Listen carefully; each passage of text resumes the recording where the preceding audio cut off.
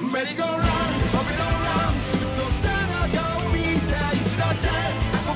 Hola, soy Bash y hola amigos, bienvenidos una vez más a nuestro canal. Y bueno, el día de hoy como ya es costumbre en el canal les traigo la review del capítulo 341 del manga de Boku no Hero Academia. Y sí, en esta ocasión finalmente terminamos con los preparativos por parte de los héroes, pero ahora pasamos con los villanos, los cuales también tienen guardadas algunas sorpresas para la guerra y la verdad es que las cosas acaban de complicarse muchísimo más para los pobres héroes. Pero ya estaremos analizando lo ocurrido y qué es lo que podrían hacer los héroes para contrarrestar esta amenaza. Pero bueno, ahora sí, sin nada más por añadir, comencemos de una vez. Y bueno, el capítulo 341 está titulado La historia de cómo todos nos convertimos en héroes menos uno. En este caso cambió un poco el título, creo que simplemente este título va a ser para los preparativos antes de la guerra. Y cuando esta de inicio el título va a cambiar, al menos eso creo. De primera instancia tenemos una portada bastante interesante interesante que nos muestra a Himiko Toga, la protagonista de este capítulo, llena de sangre y mostrándonos su boca. Algo que me llama la atención son las flores que ponen junto a ella, ya que creo que estas simbolizan la muerte en la cultura japonesa, así que se nos podría estar advirtiendo de una posible muerte de Himiko Toga en el futuro. Y dada la situación que se maneja y la peligrosidad de esta villana, la verdad es que no lo veo nada descabellado. Pero bueno, ahora sí comenzando con el capítulo, observamos en primera instancia la casa de Himiko Toga, donde observamos terribles palabras escritas en ella, donde dice muere demonio, vampiro demonio, largo de aquí, etc. Así es, Himiko Toga no la pasó tan bien. De esta manera observamos cómo Himiko Toga regresa a su antiguo hogar, recordando algunos de los momentos de su pasado, cuando sus padres le decían que a pesar de todo lo que hicieron, no fueron capaces de eliminar la maldad en ella, y que básicamente no tenía salvación ya que nadie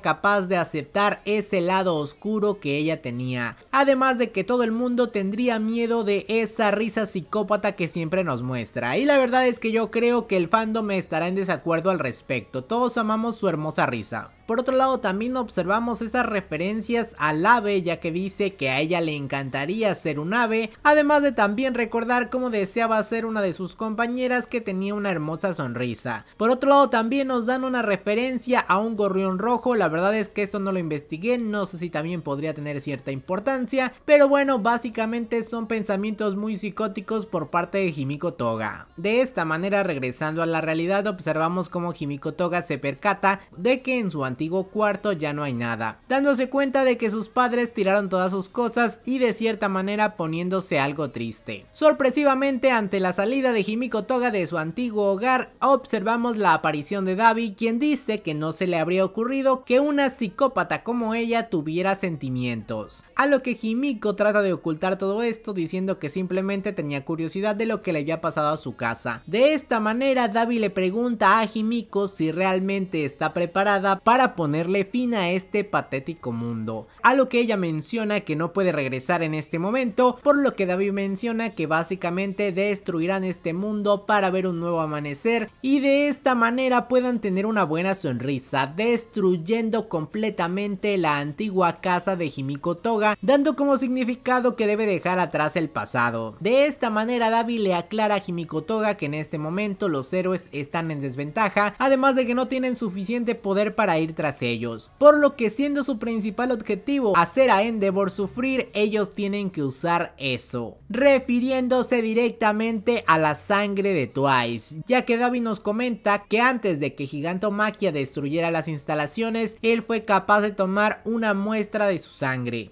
esto para que Himiko pudiera utilizarla en este momento tan decisivo, mencionando que sabe acerca de su quirk y de que ella es capaz de copiar la imagen además del quirk de aquellas personas a las que ama, siendo claramente Twice uno de ellos. Y bueno, sí, uno de los escenarios más terribles para los héroes se ha hecho realidad, ya que muchos estaremos de acuerdo en que una de las razones de la muerte de Twice es por tener un quirk tan roto que básicamente podría definir la guerra ningún problema. Y este quirk ha regresado al campo de batalla. La verdad es que la situación es terrible, hay muy pocas personas que serían capaces de enfrentar este quirk Quirk y sobre todo cuando ya se encuentra en masa. Obviamente también es difícil manipularlo, pero ya en una guerra y creando un tremendo ejército, la verdad es que las cosas serán muy difíciles. Como sabemos, posiblemente el Quirk de Himiko Toga tenga algunas restricciones, tal vez de tiempo o algo por el estilo, pero aún así de golpe Himiko Toga se acaba de convertir en una de las más grandes amenazas para los héroes, ya que si controla bien el Quirk de Twice, no solo puede crear un ejército de Twice, sino también un ejército de Nomus o de Shigarakis, y esto sí sería la perdición para todos, ya que hay que recordar que el Quirk de Twice también puede copiar el poder de aquellos a los que copia, una verdadera locura. De esta manera nos preguntamos, ¿habrá realmente alguien que pueda detenerla? No lo sé, la verdad de primera instancia pienso en Aizawa, el cual podría detenerla, pero antes de que esto se active o si logra localizar a la real en el momento adecuado, tal vez también lo logre, aunque honestamente no creo que sean tan tontos los villanos como para exhibirla antes de que utilice este quirk. Por otro lado, no sé si Shinzo podría tener algún efecto, tal vez si directamente alguno de ellos le responde, el quirk de Shinzo pueda distribuirse de manera global a todos los clones, esto sería realmente tremendo, pero no sé si es posible. La verdad es que con esto cada vez veo más probable la situación del escuadrón suicida, porque sin duda alguna Shisaki sería uno de los que sí podría enfrentar a esta tremenda amenaza. Pero bueno, ya veremos lo que ocurre y cómo manejan este quirk para que la guerra no se resuelva tan rápidamente. De esta manera cambiemos de escenario, ahora tomando como principal a Spinner, otro de los personajes que va a cobrar una enorme relevancia en la guerra, ya que en primera instancia se encuentra en la base de All for One escuchando los gritos de Shigaraki ante la preocupación de Spinner, que sabemos que es extremadamente leal a este. De esta forma, All for One le dice a Spinner que no necesita preocuparse debido a que la recuperación de Tomura Shigaraki está progresando lentamente y que gradualmente va a lograr alcanzar la singularidad de su quirk para perfeccionarlo, mientras Spinner pregunta si realmente este sigue siendo Shigaraki, pero claramente All for One responde que sí, que es el mismo y creo que esto podría ser uno de los principales conflictos los que se enfrente Spinner, ya que una vez que se encuentre con Shigaraki probablemente se percate de que ya no es el mismo y por obvias razones debería haber sido modificado por la voluntad de All for One. Así que Spinner es un personaje bastante maleable en este punto. Y de esto me extrañaría que All for One no tenga contemplado todo esto, ya que las reacciones de Spinner son demasiado claras. Él tiene dudas a cada cosa que le dice All for One, por lo que a mi parecer no tiene sentido otorgarle tanto poder a alguien en el que no tienes confianza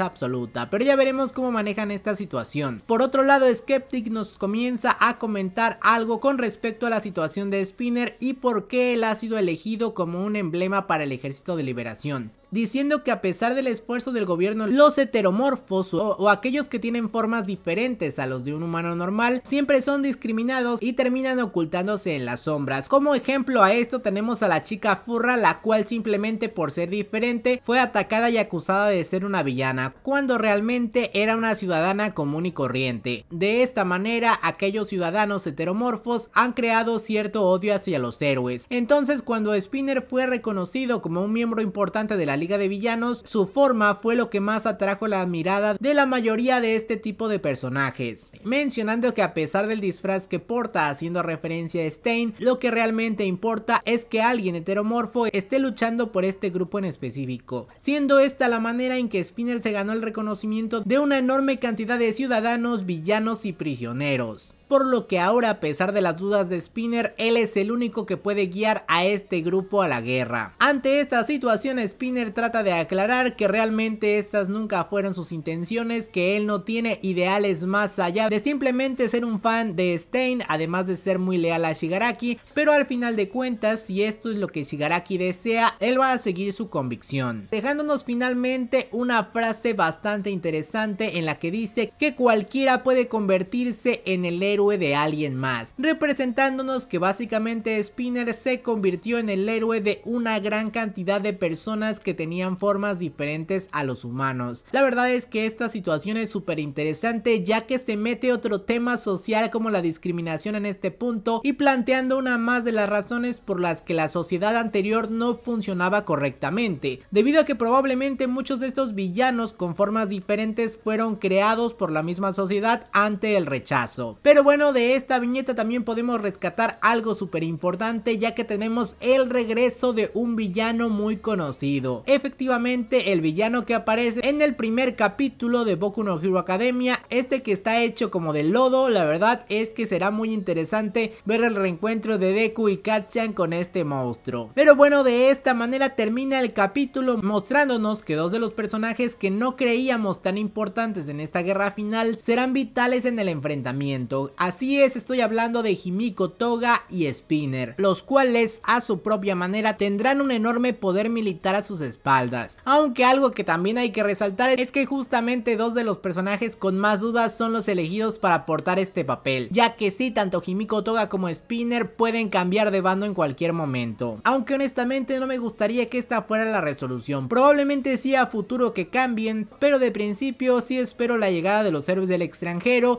tal vez los vigilantes o también como dije el escuadrón suicida. Sería muy interesante ver todos estos refuerzos ya que los héroes sí o sí los van a necesitar. Además de que obviamente la aparición de Stein contra Spinner será súper importante. Pero bueno de esta manera terminamos el capítulo aunque lamento decirles que la próxima semana no tendremos episodio. Así es bastante sad. Pero bueno me encantaría que me dejen su opinión en los comentarios. ¿Qué creen que ocurrirá con Himiko Toga y Spinner? Los estaré leyendo. Y antes de despedirme quiero agradecer a todos los miembros del canal que siempre nos están apoyando. Y muchas gracias a Emanuel Castro, Armos, Luis Macosta, Sonkun Sensei, Rodrigo García, Alestad Almora, Roberto Pedrero, Random Games, Fanny Morales, Paulix29, Alex Gamer, Adrián Rizco Vilches, Rux Bejo, Daniel Alvarado, Soules y Bárbara Ninao. Y ahora sí, sin nada más por añadir, adiós.